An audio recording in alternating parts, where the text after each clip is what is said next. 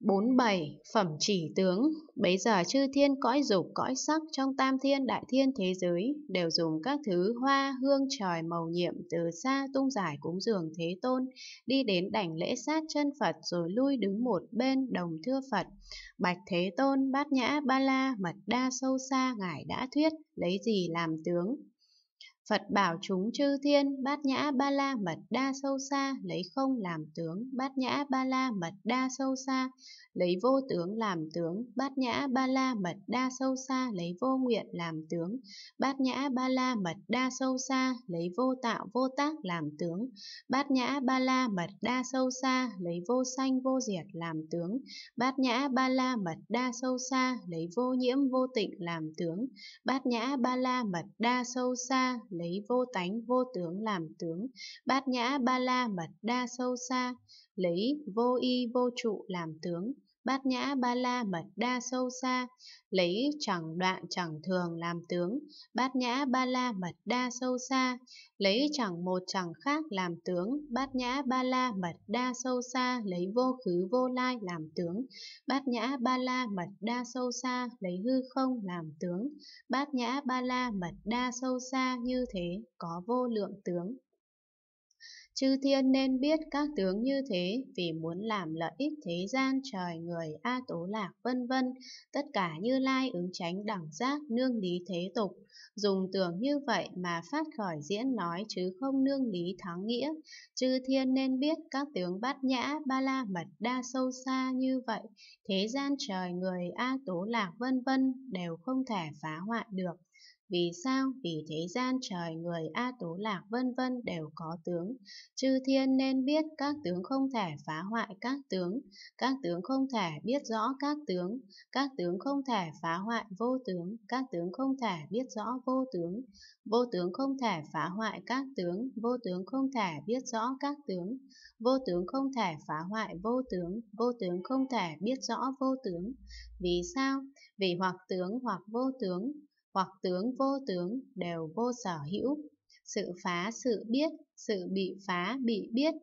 người phá người biết đều bất khả đắc. Chư thiên nên biết các tướng như thế chẳng phải sắc làm ra, chẳng phải thọ tưởng hành thức làm ra, chẳng phải nhãn xứ làm ra, chẳng phải nhĩ tĩ thiệt thân ý xứ làm ra, chẳng phải sắc xứ làm ra, chẳng phải thanh hương vị xúc pháp xứ làm ra, chẳng phải nhãn giới làm ra, chẳng phải nhĩ tĩ thiệt thân ý giới làm ra, chẳng phải sắc giới làm ra, chẳng phải thanh hương vị xúc pháp giới làm ra, chẳng phải nhãn thức giới làm ra, chẳng phải nhĩ tĩ thiệt thân ý thức giới làm ra, chẳng phải nhãn xúc làm ra, chẳng phải nhĩ tĩ thiệt thân ý xúc làm ra, chẳng phải các thọ do nhãn xúc làm duyên sanh ra làm ra, chẳng phải các thọ do nhĩ tĩ thiệt thân ý xúc làm duyên sanh ra làm ra, chẳng phải bố thí ba la mật đa làm ra, chẳng phải tịnh giới an nhẫn tinh tấn tịnh lự bát nhã ba la mật đa làm ra chẳng phải pháp nội không, không của các pháp nội tại làm ra, chẳng phải pháp ngoại không, không của các pháp ngoại tại, nội ngoại không, không của các pháp nội ngoại tại. Không không, không của không, đại không, không lớn, thắng nghĩa không, không của chân lý cứu cánh, hữu vi không, không của các pháp hữu vi, vô vi không, không của các pháp vô vi, tất cánh không, không tối hậu, rốt giáo, vô tế không, không không biên tế, tán vô tán không, không của sự không phân tán, bản tính không, không của bản tính tự nhiên tính, tự cộng tướng không, không của tự cộng tướng, nhất thiết pháp không, không của vạn hữu, bất khả đắc không, không của cái bất khả đắc, vô tính không, không của vô thể, cái không tồn tại, tự tính không, không của tự tính, vô tính tự tính không, không của vô thể của tự tính, tự tính của cái không tồn tại làm ra, chẳng phải chân như làm ra, chẳng pháp giới pháp tánh, tánh chẳng hư vọng, tánh chẳng đổi khác, tánh bình đẳng, tánh ly sanh, pháp định, pháp trụ, thật tế cảnh giới hư không, cảnh giới bất tư nghỉ làm ra, chẳng phải thánh đế khổ làm ra, chẳng phải thánh đế tập diệt đạo làm ra, chẳng phải bốn tịnh lự làm ra, chẳng phải bốn vô lượng, bốn định vô sắc làm ra, chẳng phải tám giải thoát làm ra, chẳng tám thắng xứ chín định thứ đệ mười biến xứ làm ra, chẳng phải bốn niệm trụ làm ra, chẳng phải bốn chánh đoạn, bốn thần túc, năm căn năm lực, bảy chi đẳng giác, tám chi thánh đạo làm ra. Chẳng phải pháp môn giải thoát không làm ra, chẳng phải pháp môn giải thoát vô tướng vô nguyện làm ra, chẳng phải tịnh quán địa làm ra, chẳng phải trùng tánh địa, đệ bát địa, cụ kiến địa, bạc địa, ly dục địa, dĩ biện địa, độc giác địa, Bồ Tát địa, Như Lai địa làm ra, chẳng phải cực hỷ địa làm ra, chẳng phải ly cấu địa, phát quang địa, diệm tuệ địa, cực nan thắng địa, hiện tiền địa, viễn hành địa, bất động địa, thiện tuệ địa, pháp vân địa làm ra, chẳng phải năm loại mắt làm ra, chẳng phải sáu phép thần thông làm ra, chẳng phải mười lực của Phật làm ra, chẳng phải bốn điều không sợ, bốn sự hiểu biết thông suốt, đại từ, đại bi, đại hỷ, đại xả, 18 pháp Phật bất cộng làm ra, chẳng phải 32 tướng đại sĩ làm ra, chẳng phải 80 vẻ đẹp làm ra, chẳng phải pháp không quên mất làm ra, chẳng phải tánh luôn luôn xả làm ra, chẳng phải tất cả môn Đà La Ni làm ra, chẳng phải tất cả môn Tam Ma Địa làm ra, chẳng phải trí nhất thiết làm ra, chẳng phải trí đạo tướng trí nhất thiết tướng làm ra.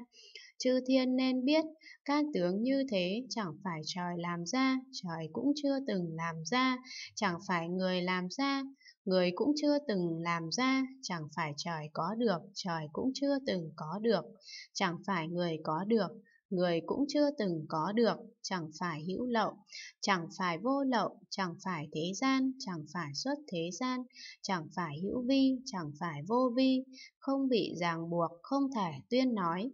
Chư thiên nên biết bát nhã ba la mật đa sâu xa, lìa các tướng không nên hỏi bát nhã ba la mật đa sâu xa lấy gì làm tướng. Chư thiên các ông nghĩ thế nào? Giả sử có câu hỏi tướng hư không là gì, câu hỏi ấy có chính đáng hay không? Chư thiên thưa, bạch thế tôn không chính đáng, bạch thiện thệ không chính đáng. Vì sao? Vì hư không vô thể, vô tướng, vô vi, không nên hỏi như vậy.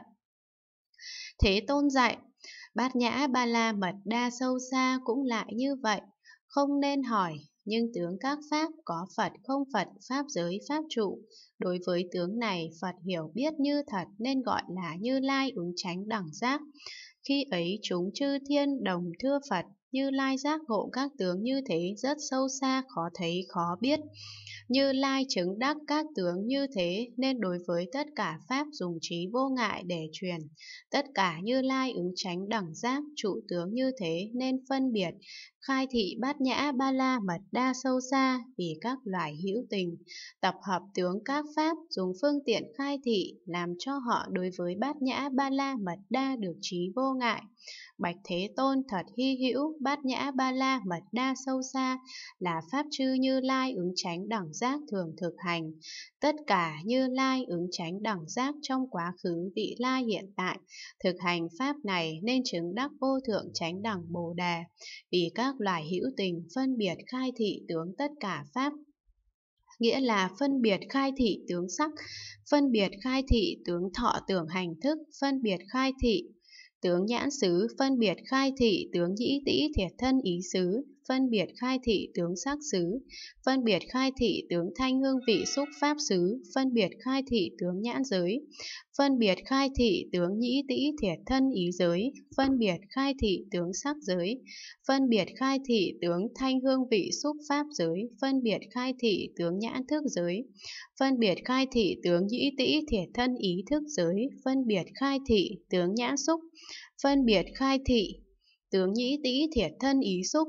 phân biệt khai thị tướng các thọ do nhãn xúc làm duyên sanh ra, phân biệt khai thị tướng các thọ do nhĩ tĩ thiệt thân ý xúc làm duyên sanh ra,